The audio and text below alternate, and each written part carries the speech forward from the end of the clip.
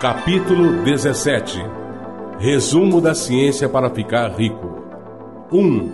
Existe uma matéria pensante da qual todas as coisas são feitas, e que em seu estado original permeia, penetra e preenche os interespaços do universo. 2.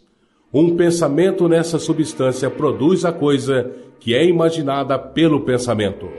3. Uma pessoa pode dar forma às coisas em seu pensamento e, imprimindo este pensamento na substância amorfa, pode causar a criação da coisa que pensou. 4. A fim de fazer isso, uma pessoa deve passar da mente competitiva à criativa. De um outro modo, não poderá estar em harmonia com a inteligência amorfa que por natureza é sempre criativa e nunca competitiva. 5. Uma pessoa pode vir a ficar em total harmonia com a substância amorfa, mantendo uma gratidão vívida e sincera para os benefícios que lhes são conferidos. A gratidão une as mentes dos indivíduos com a inteligência da substância, de modo que os pensamentos de uma pessoa podem ser recebidos pela substância sem forma. 6. Uma pessoa somente pode permanecer no plano criativo, unindo-se à inteligência amorfa por um sentimento profundo e contínuo da gratidão a Deus. 7.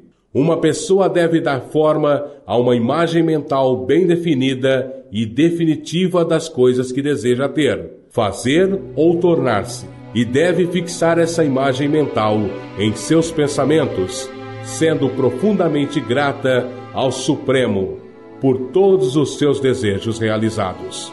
A pessoa que deseja enriquecer deve passar suas horas de lazer contemplando sua imagem e em persistente gratidão e com fé de que ela realmente lhe será dada. 8. Muita ansiedade não pode diminuir a importância da frequente contemplação da imagem mental, junto com a fé inabalável e a devotada gratidão.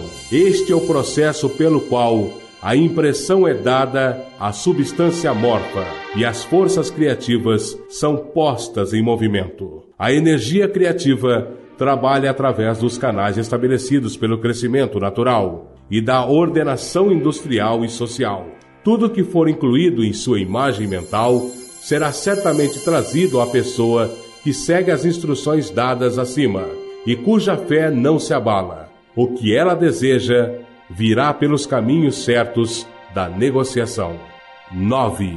A fim de receber o que é seu, quando estiver pronto para vir, uma pessoa deve agir de modo que seja mais que competente e se sobressaia em sua posição atual deve fixar em sua mente o propósito de enriquecer com a realização de sua imagem mental e deve fazer a cada dia tudo o que pode ser feito naquele dia, cuidando para realizar cada ação de forma bem-sucedida. Deve dar a cada pessoa um valor utilitário, maior que o valor monetário que recebe, de modo que cada transação favoreça mais a vida e deve fixar seu pensamento de prosperidade de modo que a impressão de progresso seja comunicada a todos com quem venha a ter contato. 10. Os homens e mulheres que praticarem as instruções antecedentes certamente enriquecerão, e a riqueza que receberão está na proporção exata à definição de sua imagem, à fixação de seu propósito,